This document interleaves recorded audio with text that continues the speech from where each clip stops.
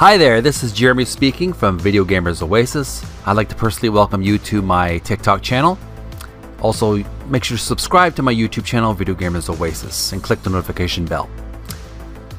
I've been reading the book Art of Atari, Deluxe Edition by Tim Lapetino.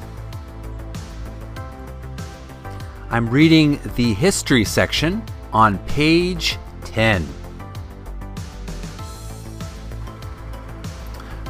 We've been starting to read The Birth of Atari Engineering a Dream on page 11. And now, the conclusion of the chapter on page 18. As part of his new company, Atari Corporation, Corporation, pardon me. The rest of the original Atari, including the coin op division, was promptly rebranded as Atari Games Incorporated and would remain in control of, of Warner through the year. After selling controlling interests in Atari Games to longtime arcade partner Namco, the original heart of Atari Incorporated would last for two more decades and several name changes before closing down in 2003. Tramiel's Atari Corporation would go on to release the the 7800 Pro system, additional consoles, computers, and many other games. But neither company would ever equal the success of the original Atari Incorporated.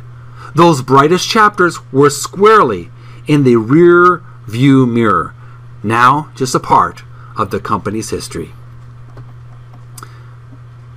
There's a little bold text below that uh, paragraph. It reads Atari Assembly line workers packaged the Sears branded Atari VCS, dubbed the Cartridge Telegamer Telegame System Video Arcade. And here's the photograph for that description. My name is Jeremy from Video Gamers Oasis. I'd like to thank you for listening to me read The Art of Atari by Tim Lapetino. And we've been reading the history of Atari, the birth of Atari, specifically on page 11 to page 18. That's all the time we have for this reading. Tune in next chapter. We'll, before that, we'll be another day. I'm going to be reading some uh, enjoyable uh, graphical Atari ads, really old ads, another day.